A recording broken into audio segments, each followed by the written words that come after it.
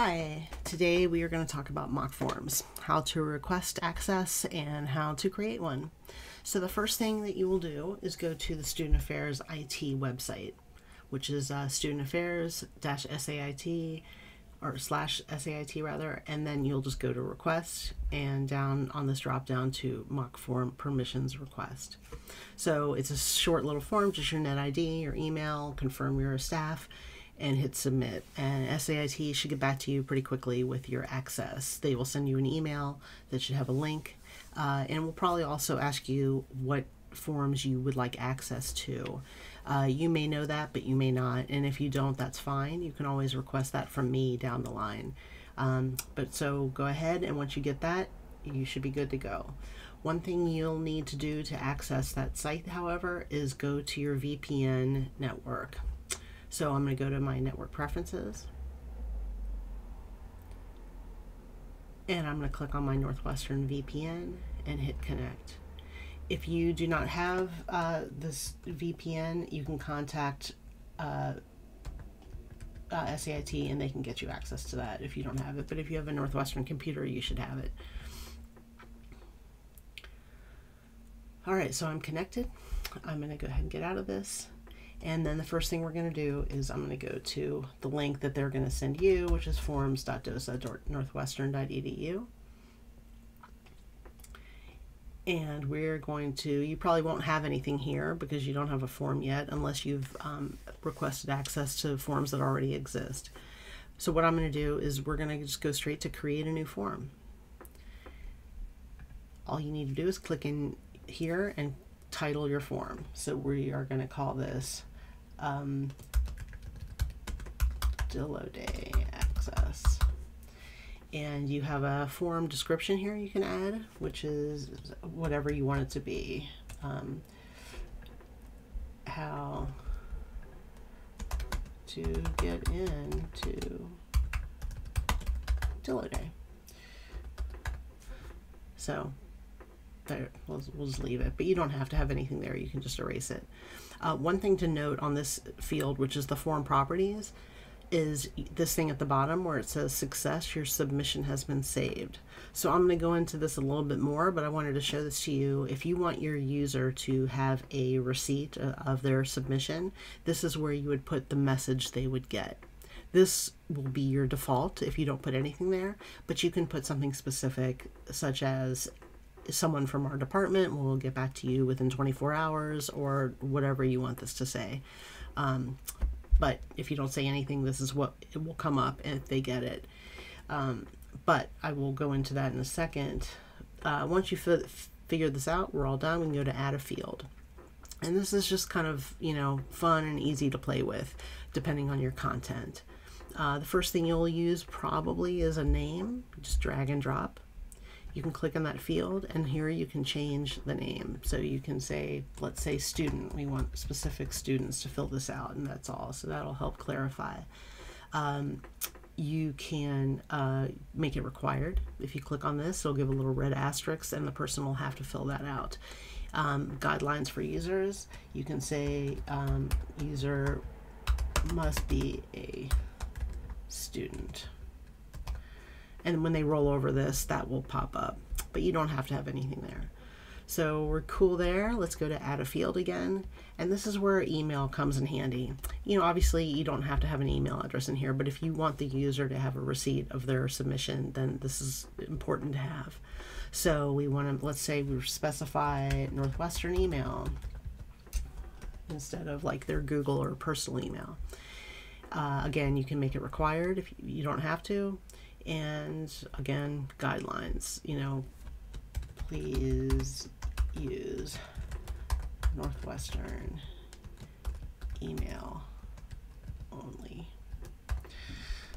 All right so now after this go back to add a field and you can put in an address you can put in their phone number any of that kind of stuff. Um, one thing that comes in handy sometimes if you have a a longer form that has sections to it is section breaks. So I'm going to show you an example of this real quick in our Student Affairs snapshot form.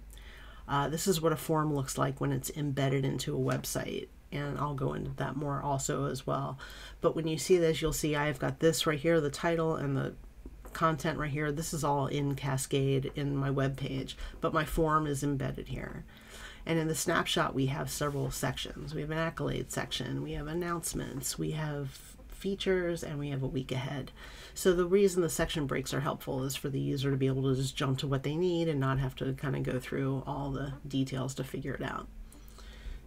So let's go back to our MachForm. So I'm not going to use any section breaks today, but if you wanted to, you could just put this in click on it and put whatever title it is, and it'll and same thing. You can have a description if you need it, not if you don't.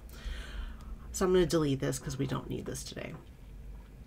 So a lot uh, forms parts of the form that I use most often are drop down. So this is good if you've got a choice of days or events that they want to go to. So under my drop down, I click on it, and over here I can just say, um, you know, date uh, of event. Let's pretend Dillo Day is four different days or three different days. So you can say June 1, June 2nd, June 3rd. You can delete one if you want, or you can add one if you want to add more. You can also um, Let's get rid of one and let's make this required. So they have to pick one. Uh, you can put in a choice limit. Um, usually with a drop down, it's just one choice they're going to pick. If they want to have separate things, you can always use uh, checkboxes. Checkboxes are good also for uh, yes no kind of questions. So, uh, do you need a guest pass? And first can be yes second can be no. This can be not sure. Uh, again, you can add one, you can subtract it. Uh, you can also give them a choice to put something else in there. So you can make it, you'll see over here it says other if I click on that. um, the next thing that I'll show you that I use often is um, a file upload. So if they have a, they have to upload their uh, photo, let's say, um, for their ID. Let's who knows, or it can be a form if they had to fill out a essay form or something like that. This is where they can upload a PDF or a JPEG. So you can click on this and you can just put. Let's just say we want them to put in a photo. And uh, again, you can make it required. Um, this is all pretty default here. You don't need to worry about this. Um, but you can put in guidelines here. Must be a square format. Uh, and you can limit the file size under two megabytes, etc. So there's a lot you can do here. So, but for this, this is pretty much done. You can play with this and see all the different things that um, work for your content, and I'm always happy to help if you need help help with that. So I'm going to go ahead and click Save Form, and I'm finished. So it'll take me back to my dashboard. So now I want to go to Theme. So you're going to see this drop down here, and there may be a lot of things. What you want to do is just go up to Student Affairs. So you saw my Student Affairs embedded form before, and that already has the title and information about the form on the web page. Uh, but if you don't have that, if you want it to just be standalone uh, and not embedded into your site, standalone is going to include everything and make it look very Northwestern Student Affairs branded. So I'm going to hit Save Changes. And now let's take a look at it real quick. So I'm clicking on View, and this is how to get, this is my form. So you'll see my little, this here. If I roll over, user must be a student. Um, you know, whatever, uh, please use Northwestern email only. So these little pop-ups happen. Um, select files, submit. So one thing that's good to do is test this once you're done. But real quick, we're going to go back to the panel. So notifications, how are you going to find out who's entering this? Where are these entries going to go to? So you want to click on send notification emails to my inbox and you're going to put in your email address or you're going to also add other people. Um, so it'll go to several different people. So in this case, I'm going to see that Jim Roberts gets it as well. If you have like a just a general department email, you put a comma and just add that as well, and it will go this form. Anytime someone submits something, it will go to all of these emails to be, make sure that it's being seen. Um, here is where we have the email address for the person. So if you want them to get that receipt confirmation, uh, this is all you'll need to do is check this box. And that's pretty much it for that. You're going to save your settings. And when they get that receipt, they're going to get that message that I showed you earlier. So that right now is pretty much all you need to do this. Um, you can, if it's a timely event that happens maybe every year or every quarter, um, but has um, expiration dates of when, how long they can um, you know, uh, submit, you can click disable at any time. And it's going to give you this message that will pop up on the form if they click on the link or on that web page.